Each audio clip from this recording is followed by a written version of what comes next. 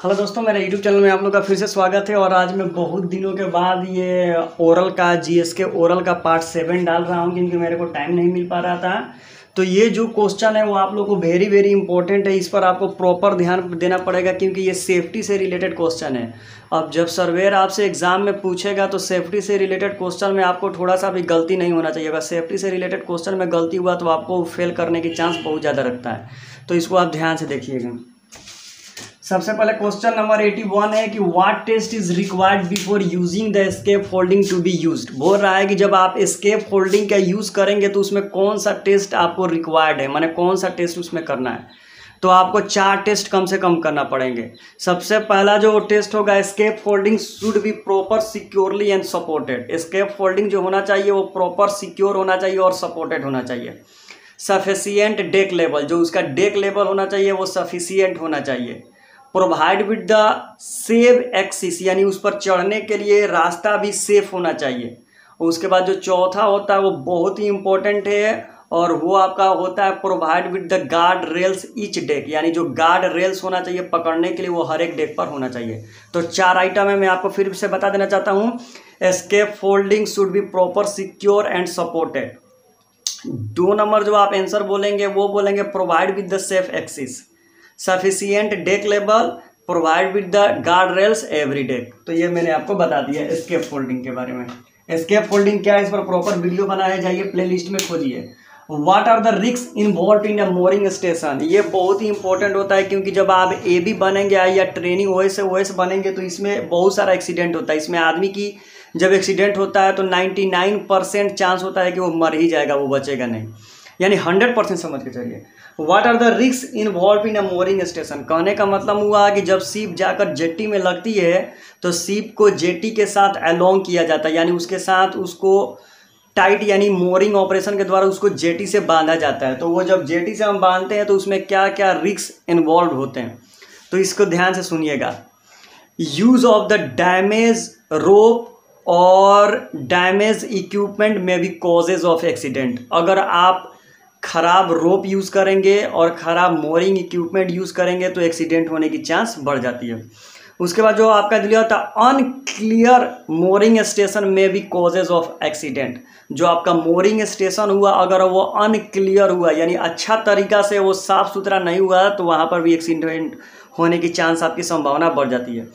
If the mooring line is old और properly not secure may be causes of accident अगर आपका जो mooring line है, वो आपका पुराना हुआ और उसके साथ साथ वो प्रॉपर जेटी के साथ बिट्स और बुलाड के साथ सिक्योर नहीं हुआ तो may be causes of accident होने की चांस बढ़ जाती है। If the mooring equipment are not proper work may be causes of accident अगर जो मोरिंग इक्विपमेंट है, वो प्रॉपर वर्क नहीं कर रहा है, तभी भी आपका क्या होगा? तो चांस बढ़ जाते हैं एक्सीडेंट होने के लिए। ऑन ट्रेंड मोरिंग स्टाफ में भी कॉजेज ऑफ़ एक्सीडेंट अगर जो आपका मोरिंग स्टाफ है और जो क्रू मेंबर है, वो ऑन ट्रेंड है, यानी उसको ट्रेनिंग प्रॉपर नहीं मिली है तब भी maybe causes of accident accident होने की संभावना बढ़ जाती है, ठीक? Bight of a mooring rope में भी कॉजेज ऑफ़ एक्सीडेंट यानी वहाँ पर अगर मोरिंग आपका जो लाइन हुआ मोरिंग रोप हुआ, अगर वो बाइट है, यानी रोल किया हुआ है और उस सिचुएशन में अगर हम मोरिंग ऑपरेशन करते हैं तो वहाँ पर भी कॉजेज ऑफ़ एक्सीडेंट होने की संभावना बढ़ जाती है, ठीक है? If the crew are not aware the proper snap back zone में भी कॉजेज ऑफ़ एक्सीडेंट अगर देखिए बड़ी बड़ी रस्सी होती है बड़ी बड़ी वायर होती है, जिससे जेटी से सीप को बांधा जाता है। अगर उस पर स्ट्रेन ज़्यादा होता है स्वेब आता है, लहर आता है तो जहाज़ हिल्टी डोलती है। अगर किसी कारणवश रस्सी टूट गया या वायर टूट गया तो वो जितना एरिया कवर करती है, उस एरिया को स्नैप बैक जोन करते हैं। अगर उस एरिया में अगर कोई भी क्रू मेंबर आ गया तो ऐसा मारेगा कि दो पूरा पीस बना देगा आपका, ठीक है? तो उसको स्नैप बैक जोन बोलते हैं।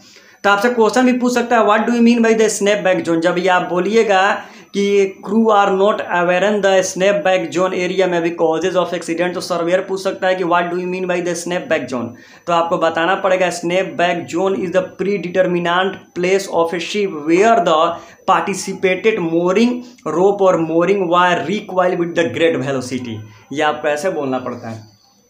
तो मैंने आपको बता दिया, चलिए फिर से मैं आपको बताता हूँ क्या क्या प्रिकॉशन लेना पड़ेगा।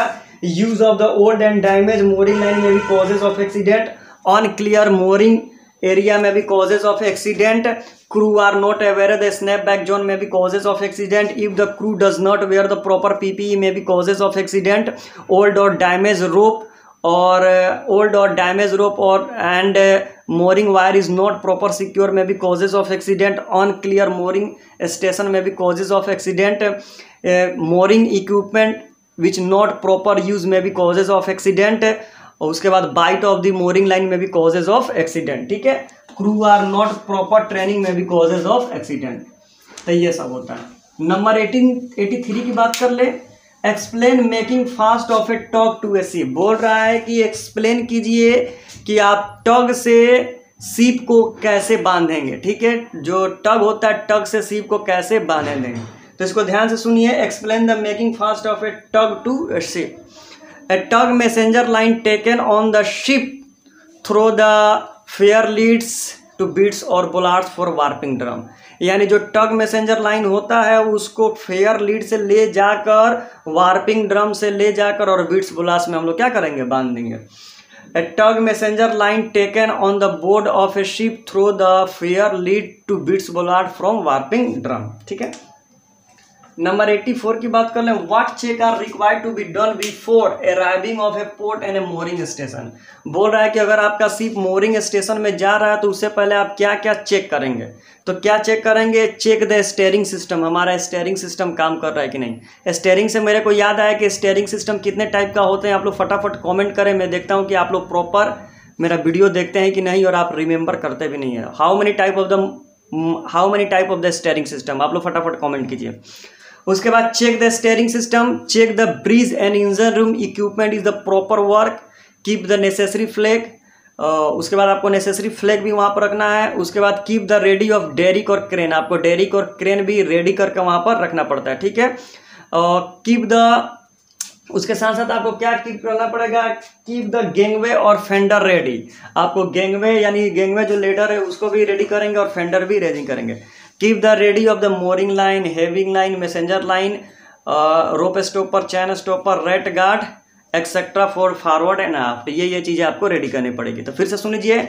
Check the steering system check the bridge equipment and engine room is equipment is a proper work work उसके बाद आपको keep the necessary of flag उसके बाद keep the ready of derrick crane keep the ready of gangway and fender और उसके पास keep the ready of messenger line mooring line heaving line chain stopper rope stopper rat guard in forward और aft ये ये चीज़ें आपको ready करनी पड़ेंगी.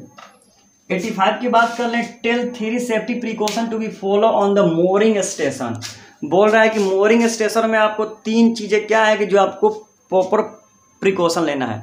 तो पहला होगा must wear the proper PPE उसके बाद होगा never stand bite of the rope यानी जो रोप है, जो गोल बना के रखा हुआ, उस पर आपको कभी भी उस एरिया में खड़ा नहीं होना है, क्योंकि अगर रोप खिंचाएगा तो उसमें आप पड़िएगा तो फिसल जाइएगा तो आपका रीढ़ का हड्डी वगैरह टूट सकता है।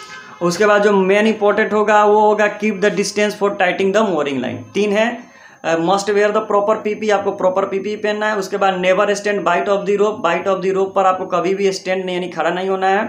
Keep the distance between the tightening the mooring line mooring line जहाँ पर टाइट हो रहा है वहाँ पर आपको डिस्टेंस बनाकर रखना है। नंबर एटी सिक्स की बात कर रहे हैं what are the safety precaution to be followed when the transforming a rope from drum to bollards बोल रहा है कि रोप को रोप uh, को ट्रांसफ़र करने में आपको क्या प्रिकॉशन लेना पड़ेगा?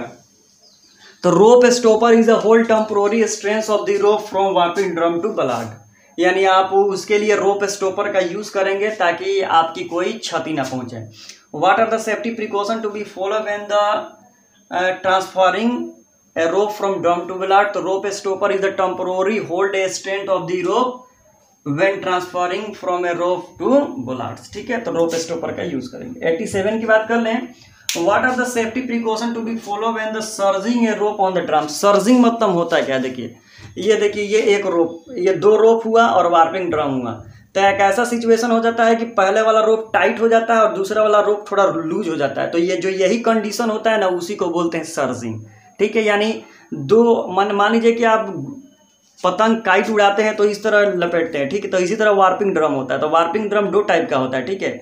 एक इधर भी रस्सी लपटा रहता है, इधर भी रोप लपटा होता है। तो जब वो वार्पिंग ड्रम उसको यूज़ करेंगे तो ऐसा सिचुएशन हो जाता है कि एक रोप जो होता है पूरा टाइट हो जाता है, उस पर पूरा स्ट्रेंथ आ जाता है और दूसरा जो रोप होता है वो लूज हो जाता है। तो यही दो एक टाइट एक जो लूज होता है, उसी को बोलते हैं सर्जिंग तो इसका डिफिनेशन हम लोग कैसे करेंगे? तो surging means to hold a rope stationary when the drum is heaving easy to pulled having part sufficient allow to the transforming the number eighty की बात कर लें, eighty eight what are the safety precaution to be follow when the lowering the rope to be the की बोल रहा है की की का अर्थ होता है जेटी, ठीक है?